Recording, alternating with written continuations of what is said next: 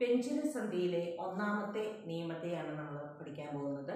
ഒന്നാമത്തത് കജടതപയ്ക്കുകൾക്ക് ശേഷം കജടതപ. നമുക്കറിയാം കജടതപ എന്ന ഏതാണ്? ഖരാക്ഷരങ്ങൾ അല്ലേ?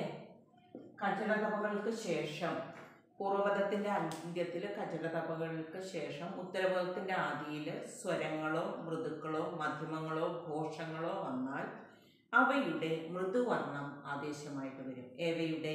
അപ്പോൾ പൂർവപദത്തിന്റെ അന്ത്യത്തിൽ ഖജടതപ ഖരാക്ഷരങ്ങൾ ഉത്തരപദത്തിന്റെ ആദിയിൽ സ്വരാക്ഷരങ്ങളോ സ്വരങ്ങളോ മൃദുക്കളോ മധ്യം സ്വരങ്ങളോ മൃദുക്കളോ മധ്യമങ്ങളോ ഘോഷങ്ങളോ. അക്ഷരങ്ങൾ ഏതൊക്കെയാണെന്നുള്ളത് നമ്മൾ ഓർത്തു വെക്കണം. അക്ഷരമാല വ്യഞ്ജനാക്ഷരമാല അത് ഏതൊക്കെ വർഗങ്ങളിൽ വരുന്നു എന്നുള്ളതും വ്യക്തമായി ഓർത്ത് വെച്ചാൽ മാത്രമേ ഇത് ഓർമ്മ വരുള്ളൂ. സ്വരാക്ഷരങ്ങൾ മൃദുക്കൾ മധ്യമങ്ങൾ കോശങ്ങൾ ഇവയിൽ ഏതെങ്കിലും വന്നാൽ ഈ കചലതവകളുടെ മൃദുവർണം ആദേശമായിട്ട് വരും. ഉദാഹരണം വാഗി വാഗീശ്വരൻ വാഗീശ്വരൻ ഇതെങ്ങനെ പദം പിരിക്കുക? വാഗ് അധികം ഈശ്വരൻ. വാഗ് അധികം ഈശ്വരൻ അല്ലേ? ഇതിലിപ്പോൾ പൂർവപദത്തിന്റെ ഒന്നാമത്തെ പദത്തിന്റെ അന്ത്യത്തിലിരിക്കുന്ന വർണം ഏതാണ്? ക. കായ്ക്ക് ശേഷം ഈ എന്ന സ്വരാക്ഷരം വന്നപ്പോൾ ഈ കായുടെ മൃദുവർണം കായുടെ മൃദുവർണം നമുക്കറിയാം. ക ഖ ഗ.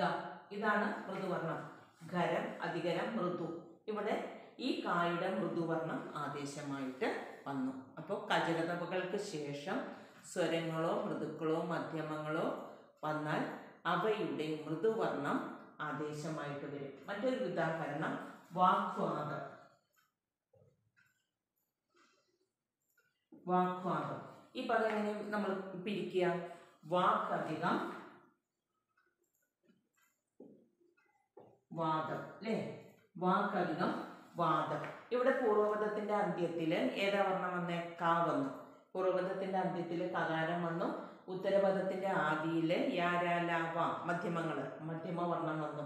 അപ്പോൾ ഈ കായുടെ ഈ കജതപയിലെ കായുടെ മൃദുവർണം ആദേശമായിട്ട് വന്നു. അപ്പോൾ ഒന്നാമത്തെ നിയമത്തിൽ എന്താ പറയുന്നത് കജടതപകൾക്ക് ശേഷം ഖരാക്ഷരങ്ങൾക്ക് ശേഷം സ്വരങ്ങളോ മൃദുക്കളോ മധ്യമങ്ങളോ ഘോഷങ്ങളോ വന്നാൽ അവയുടെ ഈ കജടതപയുടെ മൃദുവർണം ആദേശമായിട്ട് വരും. ഇങ്ങനെ വരുന്നതിനെയാണ് എന്തെന്ന് പറയുന്നത്? വ്യഞ്ജനസന്ധിയിൽ ഒന്നാമത്തെ നിയമമായിട്ട് പറയുന്നത്. ഓക്കെ